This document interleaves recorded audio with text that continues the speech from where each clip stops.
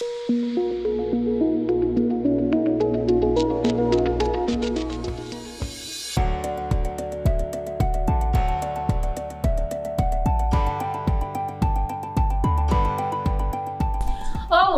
tudo bem? Sejam bem-vindos a mais uma aula aqui no Dever em Casa na TV. Eu sou a professora Cleide Lene, da disciplina de Ciências do oitavo ano dos anos finais.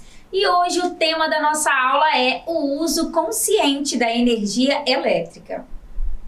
Antes de começar, vou passar algumas informações importantes. Essa aula é do oitavo ano do ensino fundamental anos finais e trabalha a habilidade que busca classificar os equipamentos eletrônicos residenciais como o chuveiro, o ferro, as lâmpadas, a TV, o rádio, a geladeira e entre outros, de acordo com o tipo de transformação de energia, da energia elétrica para a energia térmica, luminosa, sonora e mecânica.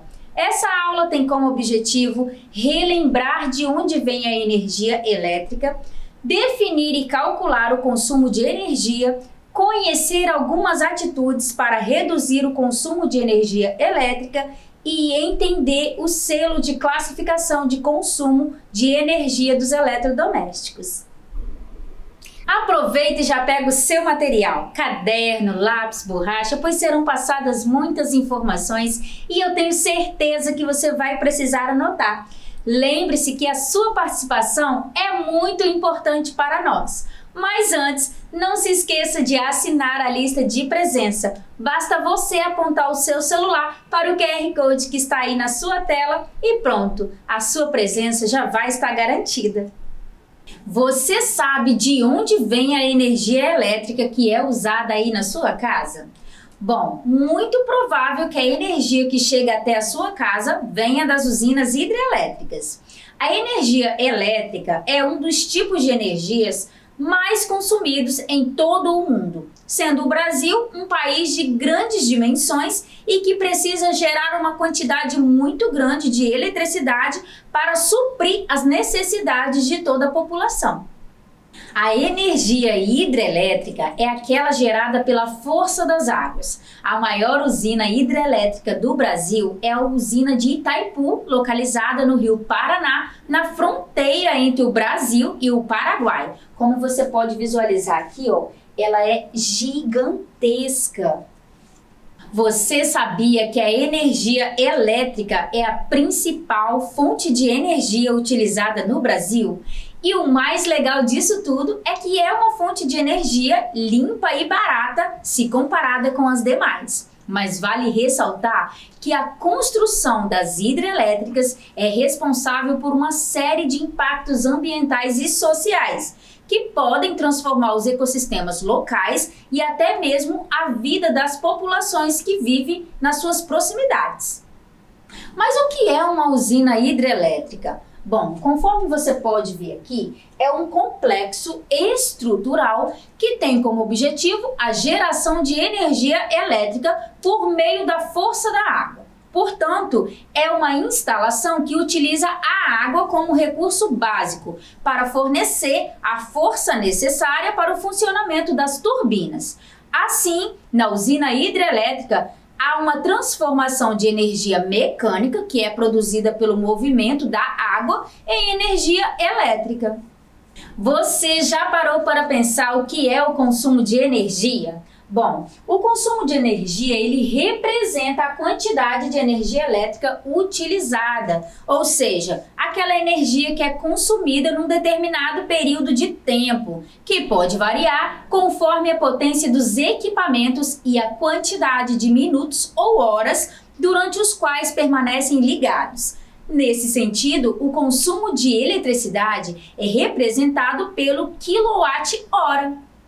Em nosso cotidiano, podemos ver que estamos cercados por diversos aparelhos eletrônicos que necessitam da eletricidade para funcionar. Cada aparelho, quando ligado, ele consome uma certa quantidade de energia, sendo que alguns consomem mais e outros menos. Mas no final do mês, temos os resultados descritos na conta de energia. O mais legal disso tudo é que os eletrodomésticos que temos em casa nos proporcionam conforto, comodidade, entretenimento e consomem energia elétrica para desenvolver as suas funções. E para usufruirmos desse recurso, temos que pagar um valor mensal proporcional à energia consumida, sendo medido por um equipamento chamado medidor de quilowatt-hora, como você pode visualizar aqui. Veja aqui na tabela a potência de alguns aparelhos eletrônicos que temos em nossa casa. Observe que cada aparelho apresenta uma potência que é representado pela letra W, que quer dizer watts. Por exemplo, o televisor ele consome 200 kWh. O ferro elétrico 500 kWh. O chuveiro elétrico 3000 kWh o aparelho de som 120 kWh. Se eu perguntasse para você qual é o aparelho que consome mais energia elétrica, qual seria? Certamente você iria responder que é o chuveiro elétrico. Então, para calcular o consumo de energia de sua residência, eu convidei a professora Josiane Gonçalves, da disciplina de Matemática, para explicar para a gente como é feito o cálculo de consumo de energia. Seja bem-vinda, professora, a essa aula, né? Ela está contribuindo aqui na nossa aula de ciências. Eu agradeço a sua participação. Eu que agradeço estar aqui hoje né, participando da sua aula. Muito obrigada. Então, estudantes, supondo que uma lâmpada LED que consome 9 watts fica ligada 8 horas por dia. O consumo total da lâmpada em um mês será de 9 watts vezes 8 horas vezes 30 dias, que vai resultar em 2.160 watts. Como 1 kW corresponde a 1.000 watts, então iremos dividir 2.160 por 1.000, que vai resultar em 2,16 kW. Então, esse é o gasto total por mês em kilowatts. Como a tarifa cobrada em Vitória é de 67 centavos por 1 kW, então a gente vai fazer da seguinte forma: a gente vai multiplicar 67 centavos vezes 2,16, que vai resultar em R$ 1,44. Logo, essa lâmpada de LED representará um gasto de R$ 1,44 por mês. Eu espero que vocês tenham entendido. Até a próxima! Mas aonde será que eu consigo visualizar na conta de energia o valor do consumo em quilowatt-hora? Bom, primeiro, o quilowatt é uma medida da energia elétrica consumida por um aparelho durante um determinado período de funcionamento e significa quilowatt-hora. Eu destaquei aqui o consumo mensal, anual e o valor da tarifa em Vitória, no Espírito Santo. Por acaso você já viu por aí esse selo de classificação nos eletrodomésticos? Você sabe o que ele representa? Bom, isso representa a classificação dos aparelhos. Observe aqui o selo do refrigerador e o selo do ar-condicionado.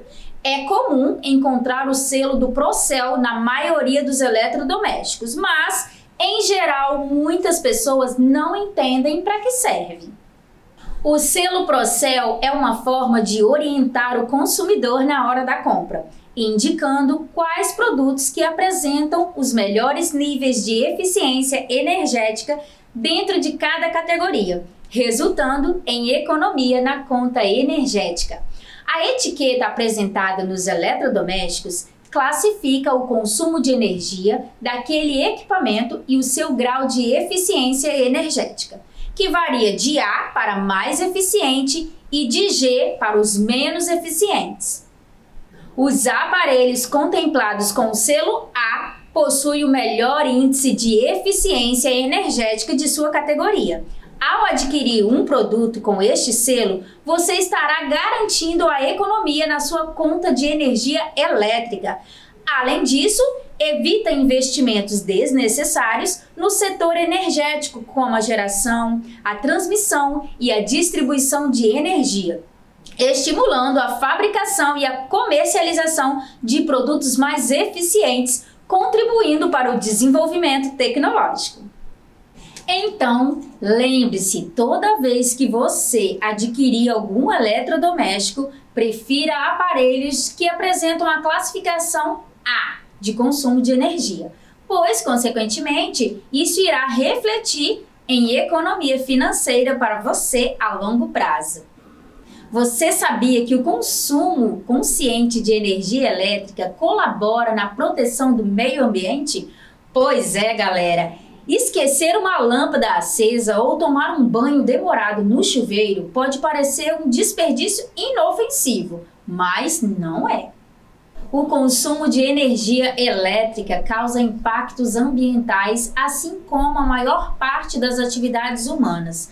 A soma das atividades individuais de uma população mundial de 8 bilhões de habitantes reflete e muito na natureza.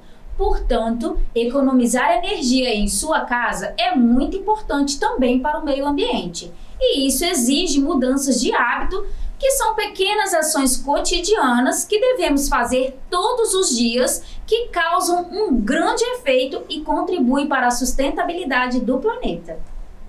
Assim, para ser ativo no desenvolvimento sustentável e consumir energia de forma consciente, é possível adotar algumas atitudes simples em nosso dia a dia, como tomar banhos mais rápidos, desligar os equipamentos eletrônicos, apagar as luzes. Essas são algumas ações que devemos desenvolver em nosso cotidiano. Investir também em cores claras, luz natural e lâmpadas de LED, tudo isso contribui para a manutenção do meio ambiente. Conseguiram perceber a importância de tudo que foi dito aqui? Então fique atento que agora chegou o momento da nossa atividade do dia. Serão três questões objetivas e você terá um tempo para responder. As questões foram elaboradas a partir da aula de hoje. Lembre-se que a sua participação é muito importante para nós do Dever em Casa na TV. Não se esqueça de assinar a lista de presença. Vamos então para a nossa primeira questão. A principal fonte de energia utilizada no Brasil é letra A, a energia eólica, letra B, a energia elétrica ou letra C, a energia solar. Eu vou te dar um tempo para você pensar.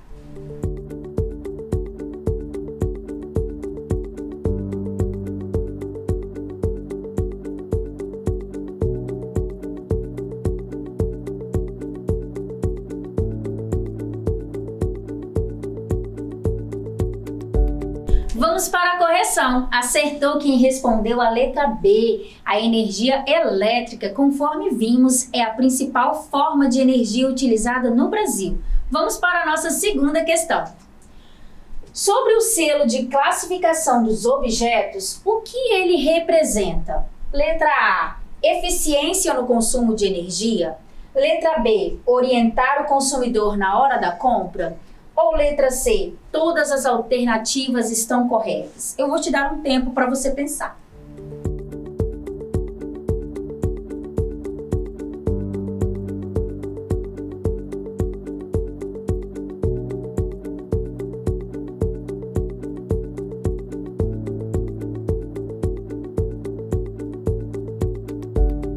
Vamos para a correção. Acertou quem respondeu a letra C todas as alternativas estão corretas. Conforme vimos, o selo de classificação A possui o maior índice de eficiência energética em sua categoria. Vamos para a nossa última questão. Qual atitude abaixo que não contribui para a economia de energia? Letra A: tomar banhos mais demorados. Letra B: investir em lâmpadas de LED. Ou letra C: apagar as luzes ao sair. Vou te dar um tempo para você pensar.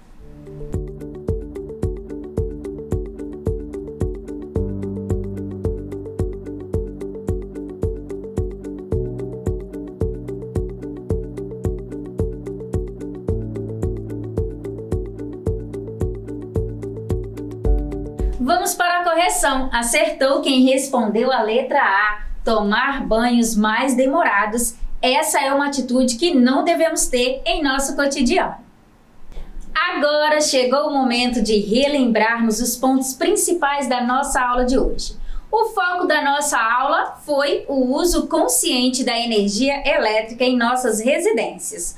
Como vimos, no Brasil, quase 90% da energia é produzida nas usinas hidrelétricas.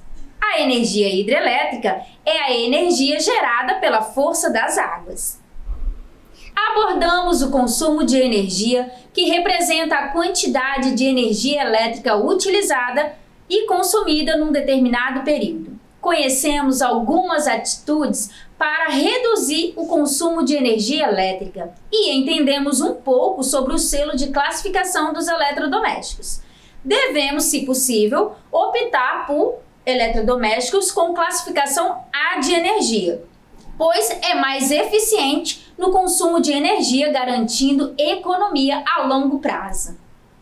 Então, estudantes, a proposta de atividade que tenho para vocês é a seguinte: qual é a importância do consumo responsável de energia? Essa atividade poderá ser realizada no caderno de ciências ou em formato de vídeo de até um minuto. Em seguida, você irá enviar a atividade para o nosso WhatsApp. Então, anote o nosso número aí, que é o 27 99661 0143. Lembre-se que a sua participação é muito importante para nós do Dever em Casa na TV. Estamos chegando ao final de mais uma aula no Dever em Casa na TV e eu gostaria de convidar você a nos seguir nas redes sociais, como o Instagram, o Facebook e o site do Dever em Casa.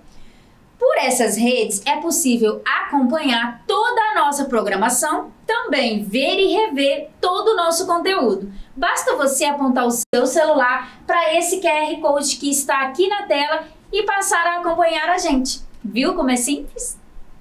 Eu espero que você tenha gostado. Foi uma satisfação enorme estar com vocês. Um grande abraço e não se esqueça que, mesmo distantes, estamos juntos. Tchau!